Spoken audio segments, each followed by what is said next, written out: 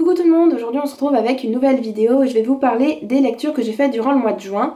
Durant ce mois de juin j'ai lu 3 romans et 3 mangas. Euh, concernant les romans, j'ai euh, terminé 3 séries donc, euh, donc je suis plutôt fière de moi. Et je n'ai pas eu de déception donc je vous en parle tout de suite. Le premier roman que j'ai lu, il s'agit de Delirium, le livre 3 de Lorraine Oliver aux éditions Le Livre de Poche Jeunesse. Donc euh, ça termine cette trilogie donc de Delirium que j'ai vraiment beaucoup aimé, j'ai même adoré cette série. C'est une série de dystopie où euh, on suit Lena qui est une jeune fille qui vit dans un monde où l'amour est interdit, c'est considéré comme une maladie, les gens sont enfermés et ils doivent suivre en fait, euh, donc ceux qui sont vraiment atteints de cette maladie sont enfermés et ceux qui atteignent 18 ans doivent subir une opération qui leur, qui leur permettra d'être aseptisés face à cette maladie. Donc Lena, euh, malheureusement, elle a rencontré un garçon qui s'appelle Alex et donc euh, ben, elle a plus vraiment envie de, faire cette opération, elle a envie de vivre plutôt son amour avec Alex. Et euh, elle part pour cela en dehors des murs de sa ville, donc sa ville aseptisée de, de, l'amour. Et elle va sortir et elle va vivre dans la nature. dans ce troisième tome, donc elle vit dans la nature, dans la nature, elle fait face à des problèmes, euh, elle a souvent très faim, euh, bon même si elle vit avec un groupe de personnes, voilà, il faut toujours qu'ils s'en aillent pour aller chasser, pour aller chercher à manger, ils doivent survivre en fait. Euh, donc c'est vraiment totalement différent de ce qu'elle vivait dans l'enceinte de, sa ville avant. Et dans ce tome, dans ce tome 3, on suit Lena d'un côté et Anna, donc qui est sa meilleure amie de l'autre. Donc Anna, elle vit, elle, à l'intérieur de la ville et elle a subi le protocole, donc l'opération. Donc elle, elle est devenue complètement euh, aseptisée, elle n'a plus vraiment de sentiments, elle a plus de goût pour grand chose.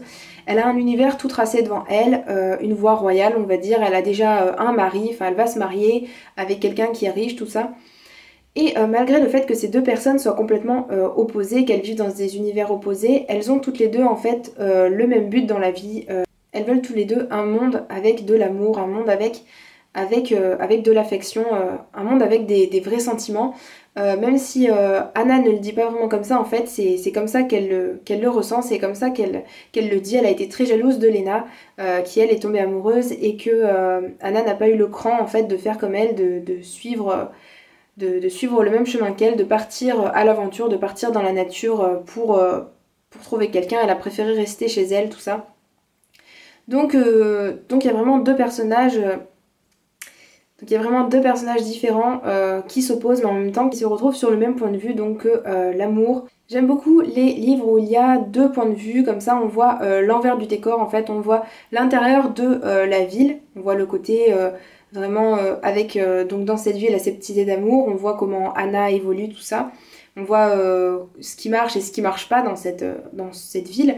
Et de l'autre côté, on voit dans la nature comment ça se passe avec Lena et ce qui marche et ce qui ne marche pas.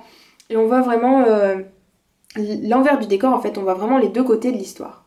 Donc j'ai vraiment adoré cette série parce qu'elle délivre un message vraiment poétique. Euh, même la plume de l'auteur est vraiment très poétique. Et euh, j'ai vraiment adoré cette série et je lui ai mis 9 sur 10 pour ce dernier tome. J'ai ensuite continué le mois de juin avec Seul au monde, le tome 3 de Emile Aybourne aux éditions Hachette, donc qui est le dernier tome de la trilogie.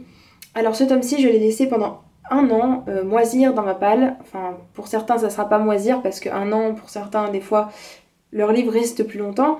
Mais euh, moi, c'est l'un des livres qui, est resté depuis le plus longtemps dans ma palle, on va dire. Et euh, je sais pas pourquoi je l'ai laissé parce que les deux premiers tomes, je les avais vraiment adorés et j'avais peut-être pas envie de terminer ou je sais pas. Mais donc cette histoire raconte le, une histoire un peu post-apocalyptique, on va dire, où on suit un jeune garçon qui s'appelle Dean, euh, qui prend le bus, comme tous les matins, pour aller au lycée. Sauf que ce matin-là, euh, il y a une chute de grêle importante, euh, le, bus, a... un accident, et il va devoir se réfugier avec d'autres enfants du bus scolaire. Il va devoir se réfugier dans un, dans un supermarché pour essayer de, de, survivre en fait là-dedans. Après, donc, euh, il apprend qu'il y a des, nuages, des nuées toxiques qui, euh, qui, sont tout autour et qui euh, tuent la population. Donc, ils sont obligés de rester à l'intérieur du, du, supermarché. J'aime beaucoup les personnages. On suit une dizaine d'enfants de n'importe quel âge, des petits de 5-6 ans et jusqu'à des adolescents de 17 ans à peu près, je crois. Et donc tous ces personnages ont des, traits de caractéristiques bien particuliers. Donc il y a l'intello un peu, il y a bah, le héros de l'histoire qui, a besoin quand même de supporter donc son rôle de héros mais sans vraiment être le héros auquel on s'attendait. Il y a une jeune fille qui joue le rôle de la petite amie en détresse. Il y a les petits enfants dont on doit s'occuper, tout ça. Il y a la petite peste, machin. Et euh, même si les personnages ont vraiment des traits de caractère, des caractéristiques euh, bien marquées, ben, comme ça on peut savoir qui est qui très rapidement. J'ai trouvé que j'étais pas du tout perdue, même s'il y avait beaucoup de personnages, et que les personnages n'étaient pas stéréotypés, donc euh, c'était un, très bon point pour les personnages. Donc dans ce dernier tome, Josie, donc, qui est une, fille qui faisait partie donc, de la dizaine d'enfants du supermarché, a été isolée du groupe, donc qui devait rejoindre rejoindre un camp de, un camp de rescapés. Euh, donc Josie se retrouve euh, embarqué. Euh, ah oui alors. Donc un petit point sur l'histoire avant de continuer. donc ces nuées toxiques provoquent des choses vraiment désastreuses et elles sont en lien avec le groupe sanguin de chaque personne. Donc je sais que le groupe O, les personnes du groupe O sont avec les, nuages les nuits toxiques deviennent incontrôlables, ils ont des envies de meurtre. Et euh, après, pour le reste, je ne me rappelle plus exactement, mais il y a un groupe sanguin euh, qui, qui, se couvre de loques et donc euh, qui, qui, meurt en quelques heures. il y a un groupe sanguin qui devient stérile, il y a un groupe sanguin qui devient parano. Donc voilà, et Josie, donc, qui est l'une des, des, des des personnes qui étaient euh, dans le supermarché, euh, elle sort au bout d'un moment avec euh, toute la, tout, le petit groupe de personnes et elle se retrouve, au bout d'un moment, elle se retrouve séparée du groupe alors que le groupe a réussi à rallier le camp de rescapés, Josie, elle, se retrouve enfermée dans un camp avec d'autres personnes du groupe O qui sont dangereux pour les autres, sachant qu'ils peuvent tuer n'importe qui à tout moment s'ils respirent les nuées toxiques. Donc on va alterner d'un côté le point de vue de Josie, donc dans ce camp qui est, horrible, où les gens sont traités comme des animaux, où Josie a des idées noires, où tout, va très mal en fait. Euh, et on va alterner le point de vue de Dean, donc qui est le personnage principal, qui lui fait partie donc, euh, qui est dans le camp des rescapés et qui va vouloir euh, retrouver Josie donc pour la sortir de, cette horreur. Donc j'adore vraiment ce roman parce qu'il est plein d'action, les personnages sont, très intéressants, sont très construits et donc je lui ai mis la note de 9 sur 10. Le dernier roman que j'ai lu, il s'agit de L'élu, euh, donc le dernier livre de la trilogie La Sélection de Kirakas aux éditions Robert Laffont, collection R. Donc la sélection, c'est l'histoire d'une jeune fille qui s'appelle America, qui participe à la sélection, donc euh, où 35 candidates euh, sont, prises, sont retenues pour passer un certain temps au palais.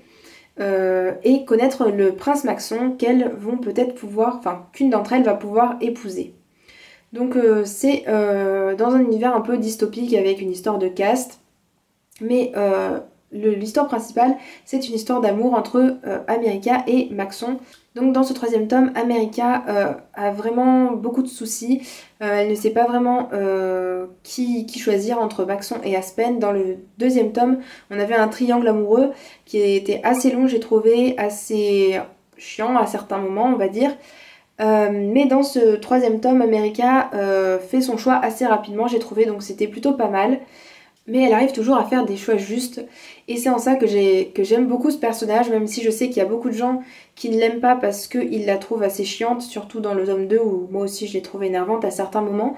Euh, dans ce tome 3, j'ai vraiment trouvé qu'elle faisait des choix justes et, et donc c'était vraiment un bon personnage pour moi.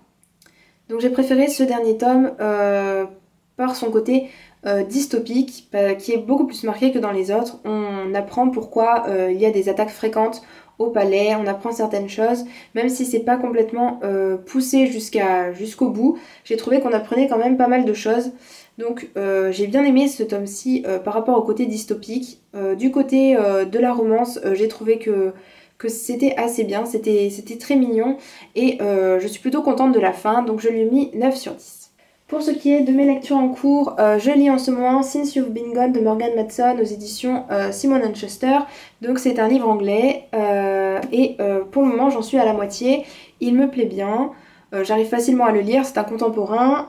on suit Emily qui un jour ben, veut appeler sa, sa, meilleure amie qui s'appelle Sloane et elle ne la trouve plus, elle ne sait pas ce qu'elle a fait, elle a disparu, elle a disparu de la circulation et elle n'a aucun moyen de la joindre. Donc elle se retrouve un peu euh, un peu seule. Et elle découvre qu'elle lui a laissé une liste de choses à faire. Euh, et elle se dit qu'en en complétant cette liste, en la remplissant, euh, elle, ça va la mener à Sloane. Et je trouve que l'histoire est vraiment très bien faite parce qu'à chaque fois qu'elle arrive sur un lieu ou qu'elle fait quelque chose que Sloane lui a demandé de faire, et eh ben en effet il y a, certaines choses qui la lient avec Sloane, qui la lie à Sloane. Et euh, donc pour le moment, euh, c'est une très bonne lecture. Euh, j'en suis qu'à la moitié, mais j'espère quand même le finir assez rapidement. Ma deuxième lecture en cours, il s'agit de Afterworlds de Scott Westerfeld aux éditions Pocket Jeunesse, qui est une petite brique quand même de 650 pages. donc il me reste 150 pages à lire. J'étais un peu sceptique, j'avais acheté ce livre plutôt sur un coup de tête. Euh, parce que je me suis dit que l'histoire avait l'air pas mal avec euh, une jeune fille qui... Euh, on, retrouve deux points de vue en fait alternés. Un point de vue où il y a Darcy donc qui vit dans la réalité, qui est une jeune fille qui écrit son premier roman qui s'appelle Afterworld.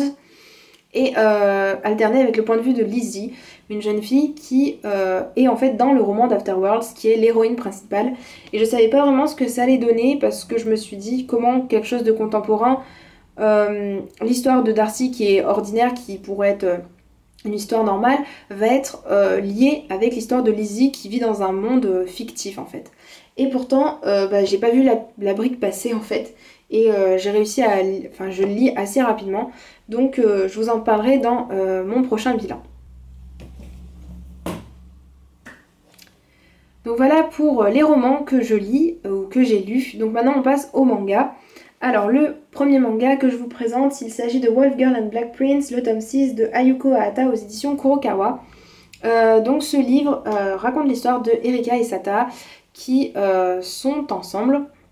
Mais Sata est complètement différent de Erika. Erika est plutôt enjouée, plutôt souriante, tout ça. Et elle est complètement folle amoureuse de Sata. Et Sata est plutôt du style à la repousser et fait plutôt semblant de ne pas l'apprécier. Euh, et donc ces deux personnes sortent quand même ensemble et c'est assez spécial. Euh, donc dans ce sixième tome, euh, Erika rencontre la famille de Sata. Et Sata, et elle découvre enfin pourquoi Sata est aussi cruelle envers elle. Et elle prend la défense à plusieurs reprises de Sata parce que les, gens de sa famille ne pensent pas que Sata puisse avoir une petite amie. et ils pensent pas que ce soit sérieux. Et Erika prend souvent sa défense. Et euh, donc j'ai trouvé que c'était très mignon. Et d'un autre côté, on a Sata qui, euh, qui lui évolue, mais vraiment petit à petit. Et on voit certaines scènes de jalousie euh, de Sata, mais lui, il ne veut pas le montrer comme ça en fait. Et il ne veut pas se montrer en fait sous son vrai jour, on va dire. donc j'attends vraiment de voir la suite, comment il va évoluer, si il va enfin pouvoir montrer à Erika ce qu'il ressent, tout ça. Donc je vais vous montrer vite fait les dessins si vous voulez voir. Le style de dessin n'est pas forcément très mignon, mais, euh, c'est une très bonne série. Donc je lui mets 8 sur 10. J'ai ensuite lu euh, Inséparable, tome 5 de Aiminase aux éditions Panini Manga, qui est une petite série toute toute mignonne, euh, où on suit une jeune fille qui s'appelle Koharu, qui a un ami d'enfance qui s'appelle Natsuki, sauf qu'ils se rendent compte qu'ils sont amoureux l'un de l'autre. Et donc dans ce tome-ci, ben, les deux ils sortent ensemble et leur relation évolue petit à petit. Ils sont très mignons, j'ai vraiment adoré ce tome-ci. Euh, Koharu est une jeune fille qui euh, veut vraiment aider ses amis, qui veut vraiment euh, les aider à trouver l'amour, à, être heureuse tout simplement. Elle va aider Sayonji à concrétiser son amour. et j'ai trouvé donc que, que, d'un côté, donc on avait Koharu avec, avec sa meilleure amie, en fait, une histoire un peu... On n'avait pas seulement l'histoire de Natsuki et Koharu, et euh, ça se lisait très facilement tout seul et c'était très mignon. Euh, donc je lui ai mis 8 sur 10. Je, vais vous je montrer vite fait les dessins. Voilà. Ensuite, j'ai lu euh, Mon histoire, le tome 6 de Haruko et Kazune Kawara aux éditions Kana. J'aime beaucoup cette couverture, je crois que c'est ma préférée de toute la série. les autres étaient plutôt blanches, juste avec les personnages en couleur. Et je trouve que cette couleur là comme ça rend plutôt pas mal. Euh, donc là on suit euh, Takeo et, euh, et, sa petite amie Yamato. Donc je vous montre rapidement les dessins. Voilà. donc j'ai bien aimé ce tome-ci parce que on voit enfin quelque chose d'autre que l'histoire de Takeo et Yamato qui avance très doucement. Là on voit plutôt un aspect amitié entre deux plutôt qu'un aspect amour on va dire. Euh, et on voit plutôt le côté de Takeo euh, qui est euh, le sauveur, celui qui veut toujours aider les autres. Donc là il aide sa maman qui va accoucher d'une petite fille. Donc c'était vraiment mignon. Et on voit aussi se profiler une histoire avec Sunakawa, donc le meilleur ami de Takeo qu'on avait vu que très rarement depuis le début de l'histoire. Donc j'ai vraiment hâte de lire la suite parce que si il y a une deuxième histoire d'amour qui se met en place, entre Sunakawa et une fille, ben j'attends que ça. Parce que entre Takeo et Yamato, ça avance assez doucement. Donc euh, je lui ai mis 8 sur 10. Voilà, c'est tout pour ma vidéo. J'espère qu'elle vous aura plu. J'espère qu'elle n'a pas été très longue. J'essaye de, faire vite à chaque fois. Euh, donc s'il y a un de ces livres qui vous intéresse, n'hésitez pas à aller faire un tour dans la barre d'infos comme d'habitude. Euh, je mets les liens vers les, livres si, si, vous voulez aller voir un résumé plus précis. Euh, et donc, euh, je vous dis à bientôt dans une prochaine vidéo. Ciao ciao